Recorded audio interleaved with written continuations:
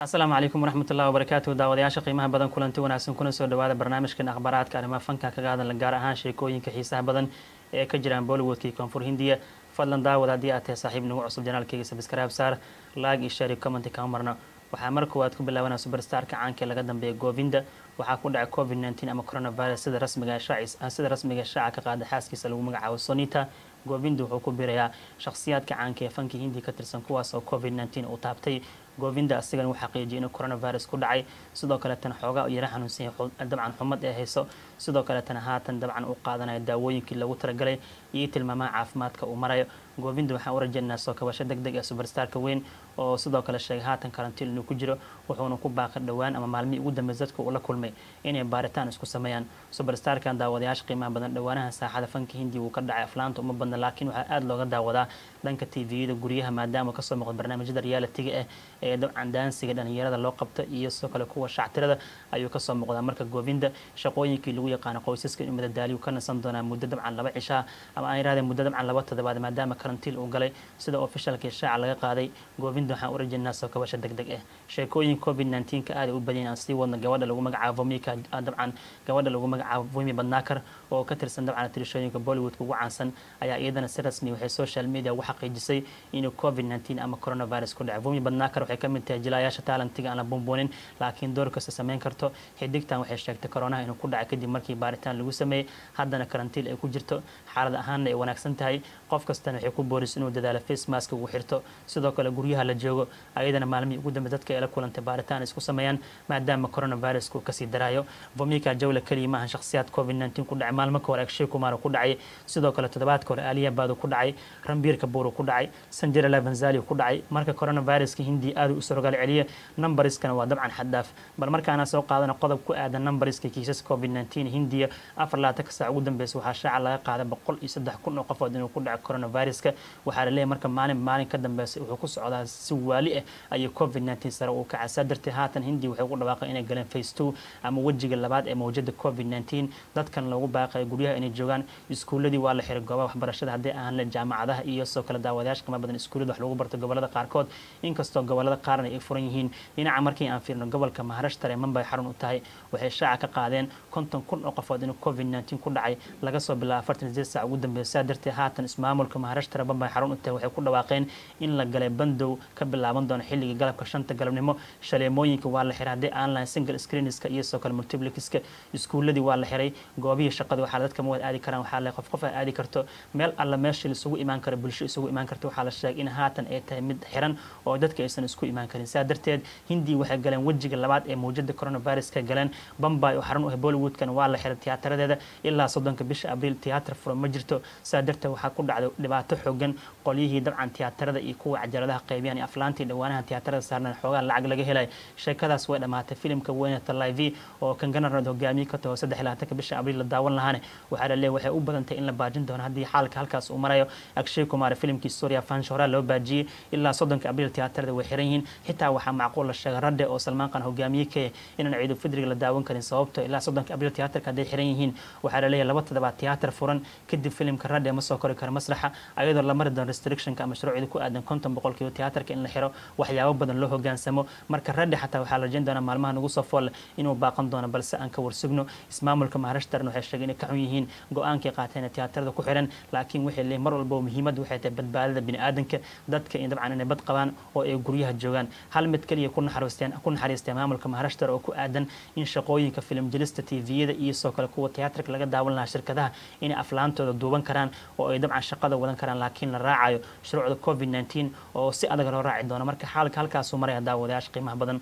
Bal markaana soo qaadano ganacsiga aflaanta filimka suldaan ee laga leeyahay koonfur hindiya ee tamiilka ayadoo daruufo kala duwan ay qabsadeen. Haddana mashruucan weekend dhigiiska ama saddex maalmood ugu horeysa ganacsi wanaagsan ayuu sameeyey. Sida haatan official shaaca laga qaaday inkastoo la leeyahay maalmaha ugu soo fool leh tamiilna ayadana tiyaatar albabada lasugu dhufan doonaa. Waxaa la leeyahay haddana tiimka suldaan waxay ku faraxsan yihiin weekend dhiga koowaad waxa u qabsama filimkan waxaa hogaamiyey kahe karti sidoo kalena waxaa kula jirta rashmi monica mandana sida haatan shaaca laga qaada daawadayaasha qanbada mashruucan xiisaha badan waxaa u suura gashay in weekendigiis kuwaad uu soo xareeyay laba labaatan dhibic soddon karoor. Ganacsigiis dibad iyo dal markii la isku daro lacagta nadiifka gudaha hindi wuxuu ka keenay toban iyo dhibic soddon shan karoor. Canshuurta kahor wuxuu keenay labaatan dhibic soddon karoor. Suuqyada caalamka wuxuu ka soo xareeyay laba karoor. Sidaa darteed kartii filimkii suldaan wuxuu noqday filimka ugu wanaagsan ee tamiil nadu. Iska leeyahay muddo dabcan tan iyo horaantii sanadkan. Waxaa ugu dambeysay filimkii master fije hogaamiye ka ahay ayaa lacag waalihii soo xareeyay. Wixii markaas ka dambeey maba aysan dhicin. Filim weekendigiis koowaad keenay laba labaatan karoor iyo bar. Filimka ugu lacagta badnaa wuxuu ahaa jakra oo ofishaal hogaamiye ka cimri ahaantiisana koo iyo labaatan karoor ilaa laba iyo labaatan karoor keena. Marka suldaan ganacsi ballaaran uu sameeyey laakiin culayska heystaa waxay tahay filimkan. Ilaa goorme ayuu maslaxa saarnaan doona maadaama mawjada labaad ee koroonaha ay sorogal celisay waxaa la sugi doonaa ismaamulka tamiil nadu iyo go'aanka ay qaadan doonaan. Dhinaca kale filimka willi dog superstar nagajuna hogaamiye keen arbaa xoogana ku dhacda sheekadiisa wanaagsan taas way ka caawin waas weekendigiis kuwaad ganacsi fiican uu sameeya filimkan wuxuu soo xareeyay sida haatan diiwaan gashan shan karoor oo keena ganacsigiis dibad iyo dal markii la isku daro. Sida haatan shaaca laga qaaday weekendigiis kole ma saddexda maalmood ugu horeysay filimkaana afar dhibic laba karoor lacagta nadiifka gudaha hindiya ka soo xareeyay suuqada caalamkana wuxuu ka keenay afartan leg marka willi dog filimka nagajuna hogaamiye ka yahay. Sidan ayuu wuxuu ku noqday filim guuldaraystay daawadayaasha qiimo badan mashruucan ogaada. Qolyaha cajaladaha qaybeen waxay ku iibsadeen ku dhawaad toban karoor weekendigana waxay ka heleen laba karoor haddana maamulka dabcan andhara baradhasha nizaam waxay ku dhawaaqeen iskuullada iyo dabcan in la xiray iyo goobaha bulshada isugu imaan karaan. Waxaa la sugi doonaa maalmaha nagu soo foole in tiyaatarada la xiro taasi oo dhibaato ku noqon doonta filimka willi dog. Marka xaalad kale la galay iyo muujad labaada covid nteen ah filim iyo sheekadiisa mar dhow way dhammaan doontaa tiyaatar in la saaro oo o t t sheekadu ku laaban doontaa siday u eg bal markaana soo qaadana filimka iyo furatnaha asagana actionka ah oo hogaamiye uu kay xiddiga caanka laga dambeeya bunith rajkumar. Dhankaasi waxaa laga leeyay gobolka karnataka xaruntooda ee tahay magaalada bangalore. Filimkan wuxuu noqday weekendigan kan lacagta ugu badan gudaha hindiya ka soo xareeyay maadaama uu keenay saddex karoor ama labaatan karoor nadiifa ayuu gudaha hindiya ka soo xareeyay weekendigiis koowaad ama wuxuu keenay karoor lacagta dabcan canshuurta ka hor eh. Suuqyada caalamka wuxuu ka soo xareeyay filimkan konton leg wadarta guud haatan wuxuu labaatan karoor ayuu soo xareeyay filimka iyo furathnaa waa ganacsi heer sara mashruucan waxaa lagu qarash galaya afartan karoor laakiin culayska heystaa waxay tahay ismaamulka karnataka waxay ku dhawaaqeen tiyaatarada in la xiray oo konton boqolkiiba keliya furnaan doonaan inkastoo tiimka filimkan asxaan loo sameeyey ilaa ay laga gaara toddobada bishan laba maalmood kale oo ganacsi sii sameyn karaa oo boqolkiiba boqol tiyaatarada furan yihiin. Wixii markaas ka dambeeya konton boqolkiiba tiyaatar tiyaatarada la xiraa. Maalmo kadib ama wiig kadibna tiyaatarada albaabada la isugu dhufanaa. Marka waxaa la leeyahay hadda kadib filim weyn lama sugan doono masrax in la saaro kuwa hadda saaranaba wadnaha farta ku hayaan. Xaalkooda sida uu noqon doono. Marka dhibaatadii covid nteen bollywood kaliya kuma eke koonfur hindiina haatan way saameysay. Sida muuqata daawadayaasha qiimaha badan. Aan ku soo laabana akhbaaraadka covid nteen waxaan shaaca ka qaadnay ama wadaagnay afar labaatan sac ka hor superstar akshay kumar inuu coronavirus ku dhacay.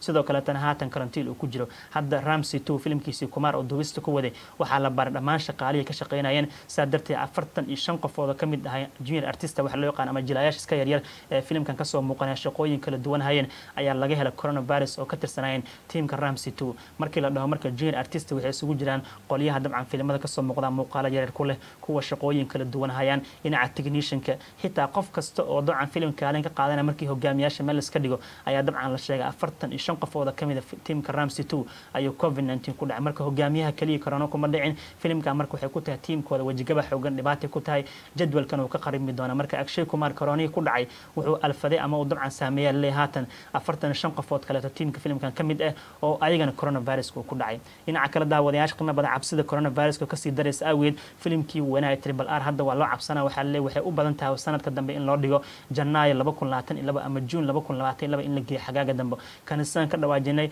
waxaa laga rabaa kun karoor inuu soo xareeyo ganacsiga dibad iyo dal markii la isku daro sidaas wuxuu ku noqon karaa filim guuleysto average ah maadaama shan boqoloo karoor iyo ka badan qolyaha cajaladaha qaybeen ku iibsadeen dhammaan luqadaha kala duwan dabcan hindiya lagu daawan doono filimka. Marka face two oo la galay hindiya karoonihii oo surgal celiya xaaladan la ogaan waqti caadi noqon doonto. Saa darteed waxaa le triple r tiimka iskale waxay u badan tahay filimka oo dib inay u dhigaan oo lama daawan doono sida haatan macquulka ay tahay ama officialka dhawaana shaaca laga qaadi doono. Laakiin hadalhaynta hordhaca eh waxay muujinaya filimkan saddex iyo tobanka octoobar laba kun labaatan iyo kow sanadkan lama daawan doono oo feestada duseera wuu banayn doonaa. Taasi haddii ay dhacda marka waxaa u taagan suldaan meesh baabuu iyo filimkiisa ah sarkaari vari bata inuu waqtigaas keeno oo saddex iyo tobanka octoobar la daawado maadaama meesh baabuu filimkiisa inta badan haatan gabagabo ku dhow yahay lacag badanna uusan ximbaarsanin. Sidoo kale tan waxaa leeyahy daawadayash qanbada waxaa macquul ah bawan kalyaani haatan filimkiisa dabcan taariikhiga duubista ku wadane asigana waa macquul in la soo hormariyo oo la keeno dabcan saddex iyo tobanka octoobar oo la daawado. Marka qof kasta waxay sugaya ama qolyaha shirkadaha taligu waxay sugayaan tilaabada ay qaadi doonaan tribal r. Haddii tribal r lagu dhawaaq in la baajiyo oo jannaha sanadka dambe la daawan doono ama juun sanadka dambe la daawanayo waxaa la suldaan mehesh baabuy bowen kalyan way soo hormari doonaan oo saddex iyo tobanka oktoobar inay qaataan u badan tahay sida macquulka. Marka xaalkii waa isbedelay face kale waxaa la galay xaaladda aad iyo aad aysan u wanaagsanin waxaan sugi doonaa wixii ka soo kordho bal markaan ugu dambeyntii aan soo qaadano today in history maanta kale taariikhan aflaanta kala duwan ay soo baxeen maanta kale filimo caana soo baxeen waxaa qaybkoo soo qaadan karnaa filimka lagu magacaabo anqeen oo laisugu keenay dabcan amita bajan akshay kumar ajur rambal baresh nawaal susmita simbi basha baasuu filimkii dabcan indhoolayaasha atoorayaasha badankooda ahayn. Amita bajan uu dabcan ku xamaalinayay bangigii lacagta laga soo dhacay sheekadii xiisaha badnaa anqeen daawashadiisa dabcan maantoo kale shantii abriil sanadii laba kun iyo labadii filimkan wuxuu noqday mashruuc guuleysto average ah wuxuuna soo xareeyay toban iyo toddoba dhibic afartan sideed karoor sida haatan u diiwaan waxaana lagu qarash gareeyay toban iyo toddoba karoor. Qolyaha cajaladaha qaybiyaan waxay ka heleen sagaal karoor iyo bar. Filimkan dabcan waxaa tigid u sagaal milyan afar boqol sagaal saddex kun oo qofood. Lacagtii toban iyo toddoba karoor uu soo xareeyay filimka anqeen muddo haatan laga joogo sagaal toban sano kadib sidii diiwaan gashan waxay u dhigmataa sagaashan iyo shan karoor.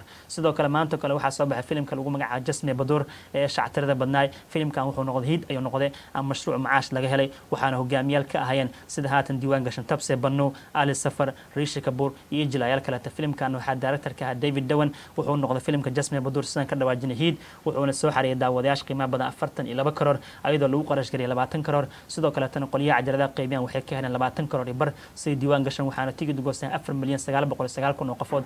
Jasme badur lacagtii afartii laba karoor soo xareeyay muddo haatan laga joogo sideed sano kadib waxay u dhigmataa konton karoor.